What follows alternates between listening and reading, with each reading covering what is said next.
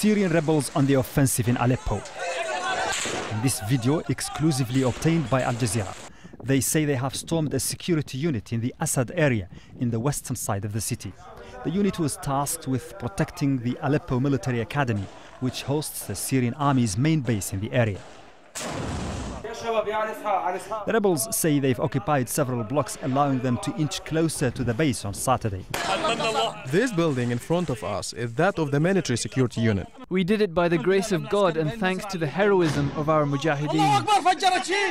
Activists say the military academy is key because it's the site where the Syrian army maps out its strategy for the Eastern Front.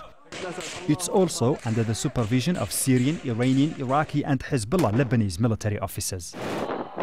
The new offensive by the Syrian rebels comes a few weeks after government troops made some major advances against the rebels by retaking the industrial area and the eastern district of Sheikh Najjar.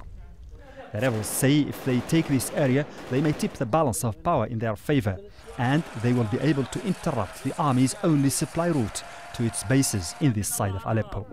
Mohammed Vall, Al Jazeera.